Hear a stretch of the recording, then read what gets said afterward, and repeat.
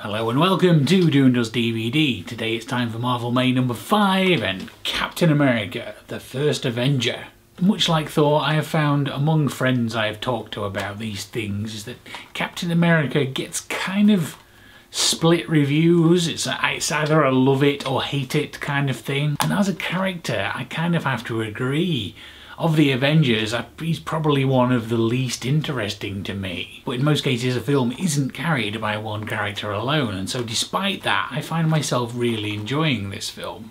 And I think that's partly to do with the change in era it's got a very different feel to the other MCU films with it being set in World War II rather than the present day. And along with elements like Hydra and the Red Skull, it kind of feels a bit more comic booky than some of the other entries in the MCU which are trying to take a slightly more realistic view on the subject matter. It's fun, it doesn't take itself too seriously, the music's great, the action's great. It introduced us to Agent Carter which can never be a bad thing. Biggest problem I have with it I think is the end. Obviously obviously it's necessary to get Captain America into our present time. The whole waking up in the present day thing at the end kind of feels tacked on, but I also understand we need that scene somewhere in the MCU and there's not really anywhere else to put it. It wouldn't fit at the beginning of Avengers, for example. There wouldn't be time. But it's one of those moments that a lot of people do find a little bit irritating about the MCU, which has been more of a problem in the more recent entries, but even then,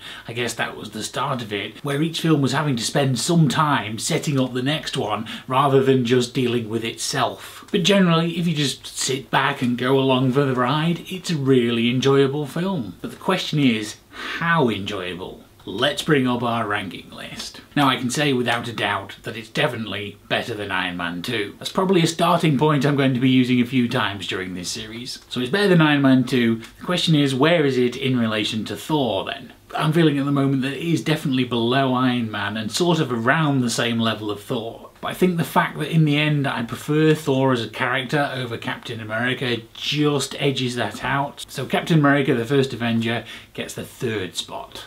Agree, disagree, possibly things are getting a bit more complicated now. Let me know your thoughts down in the comments below. Thanks for watching and I will see you next time with the Avengers.